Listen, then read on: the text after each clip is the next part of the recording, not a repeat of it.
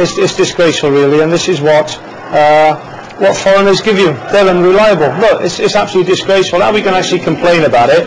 You know, for me, that's absolutely cowardice. That's cowardice. You can't put that down to being foreigners. Sure, we've seen No, they're plenty British undisciplined. players No, that over the years. They're Mark. undisciplined, Ollie. We saw it with Fabiano here, the last game here. They're undisciplined, these foreigners. I'm not xenophobic at all, but I wouldn't have a foreigner in my football club if I was a manager, if they were the last people on earth, especially free transfer foreigners, because they're unreliable. I, I don't. I don't see how you could. They should I fine don't him. They should fine him two weeks' wages, right, and throw him out of the club. That's disgraceful. That. It's actually a good job that Mark McGregor actually rode that and, and went with it. If it actually caught him smack on, if he'd actually gone into it, he'd have done a lot of damage. As far as I as I can see, he, he's probably got an early flight home.